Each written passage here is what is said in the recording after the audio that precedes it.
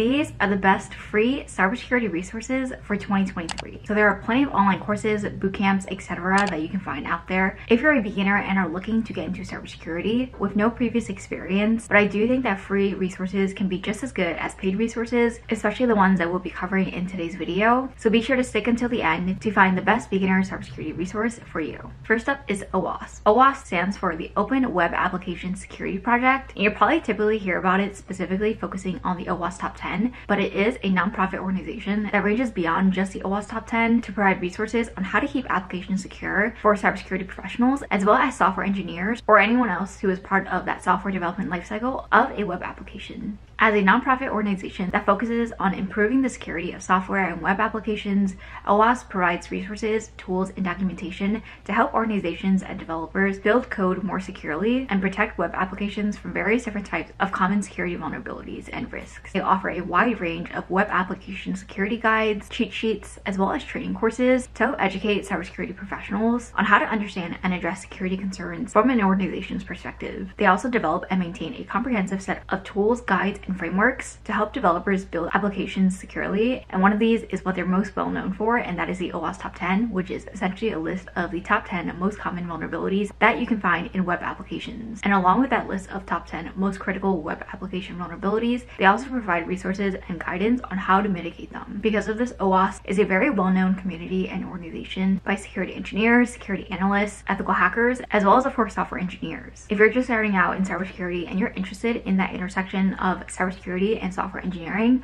personally, I think OWASP has probably some of the best resources that you can find out there, even if it's just getting started on getting familiar with the OWASP Top 10, which tends to be the most popular resource that they have. But don't forget that they have many other guides, training courses, and other learning resources that are provided by this nonprofit on their website. Next up is NICCS, or the National Initiative for Cybersecurity Careers and Studies. NICCS is essentially a program that was created by the US Department of Homeland Security to increase the nation's cybersecurity workforce. I've stated this specific statistic many times on my channel, and that is the fact that there are going to be 3.5 million cybersecurity roles by 2025, and there aren't enough cybersecurity professionals to fill these roles. That personally I think is very alarming, especially with so many organizations and companies coming online with larger surface area for attacks by external threats. And that is another reason why I personally am very passionate about getting more attention into cybersecurity jobs because personally I do think it's one of the best roles in tech out there with job stability, high starting salaries, as well as a very good career growth. And the primary goal of the NICCS initiative is to bring in more people into cybersecurity. They provide cybersecurity training, education, resources, as well as career development opportunities to help you get started to gain the skills that cybersecurity teams are hiring for so that we're able to fill that skill gap and employment gap that so many companies are seeing in the cybersecurity sector. On their website, you'll find various career resources available as well as job listings, which is another great resource to use if you're currently on the job market for a cybersecurity role. NICCS provides you a list of cybersecurity training offered at different skill levels as well as different areas of cybersecurity. So you can search and look for these specific courses that you're most interested in,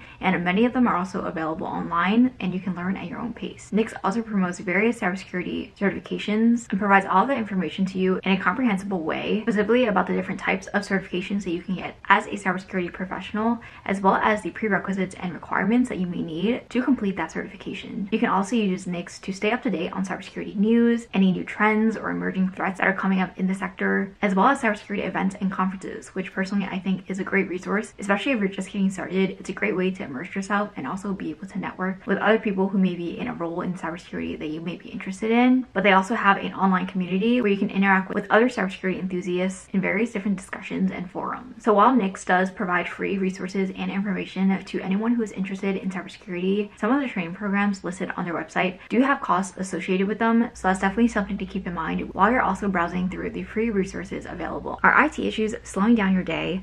Looking for a platform to remotely monitor and manage your systems with cybersecurity included? Introducing Pulseway, your ultimate IT monitoring and management platform where security is their top priority. Pulseway is a mobile first IT management platform that keeps organizations protected against security threats through customizable patch management policies and ransomware detection available on their platform to keep users safe. They also have security features such as two factor authentication, code signing, brute force protection, encryption, and more. Their platform gives you real real-time alerts, server and CPU monitoring, unlimited remote control sessions, and powerful IT automation, which are just a few things that Pulseway can do for you. Be in control of all your systems and endpoints, and the best part, do it all from any device closest to you. If you're not convinced, what if I told you you can even run commands with the power of your voice? Don't let IT troubles hold you back and try Pulseway today for free and experience the true IT power. You can check out Pulseway's cybersecurity bundle offer, which includes their remote monitoring and management platform, using the link in my description below. The next free resource on this list is Metasploit Unleashed. This is especially perfect for those of you who may be interested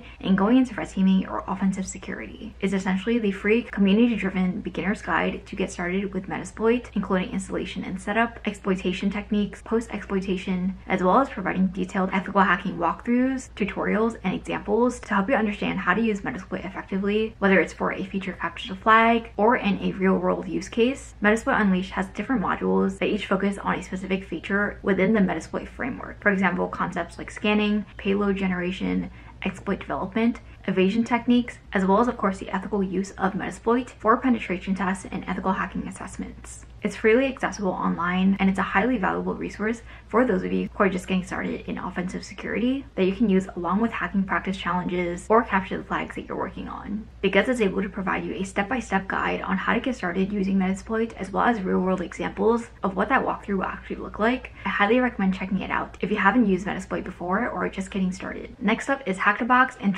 TryHackMe. Since we're on the topic of offensive security, these two are online platforms with hacking challenges that you can use to practice using different security tools, understanding how to exploit a vulnerability, as well as getting hands-on experience on what a penetration test or an ethical hack may look like. They provide a gamified environment for practicing and improving your pen testing and cybersecurity skills, as well as a wide range of VMs that you can use with different difficulty levels that also simulate real-world attack scenarios. This allows you to identify vulnerabilities and exploit them to be able to pass or complete the challenge. Because both of these platforms provide you a hands-on, practical way to practice, to learn and use your cybersecurity skills, you're able to develop a lot more quickly in areas like web application security, cryptography, reverse engineering, which by the way, specifically for reverse engineering, CrackMe's is another great option if you're looking specifically to get into reversing. That is also a free resource. Hack the Box and TryHackMe also have very large community organizations, so you're able to engage with the community, do different forums and questions if you're working on a specific challenge, and also gives you the opportunity to learn from others. I do have a link below to join Hack the Box if you're interested, and that is down in my description below. But both platforms also regularly release different new challenges all the time so that you're always able to find different challenges to work on so that you're able to focus on continuous learning to solve various different types of problems. And now on the blue team side of things, if you're interested in defensive security, while I haven't found in many platforms that simulate a real world blue team SOC type scenario that isn't a paid offering, there are open source tools like the Hive Project and Elastic Security, which respectively provide an open source incident response platform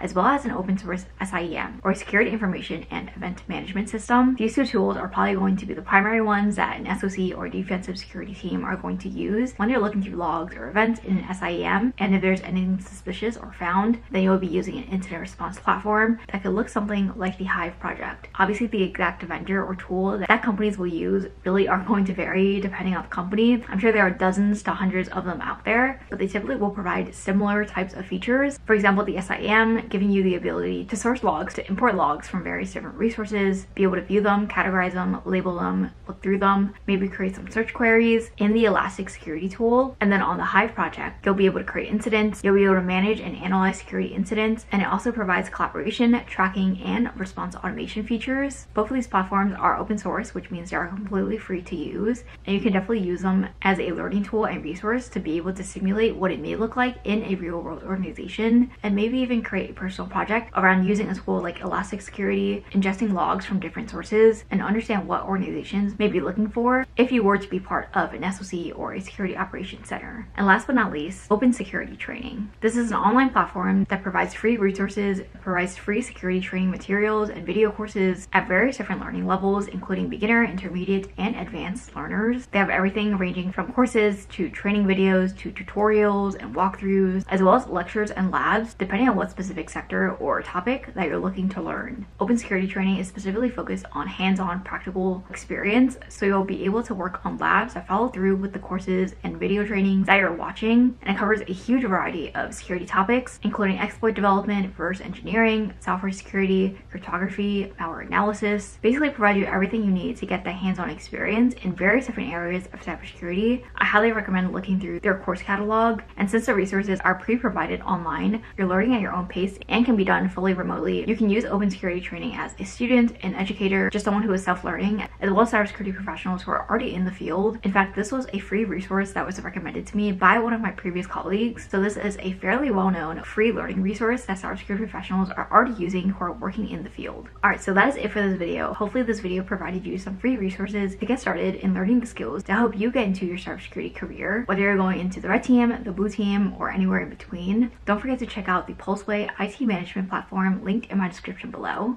As always, thank you guys so much for watching, and if this video was helpful to you, please give it a thumbs up, subscribe, and turn on post notifications. I post videos every Wednesdays and Sundays at 12 p.m. And hopefully I'll see you guys in my next video. Bye!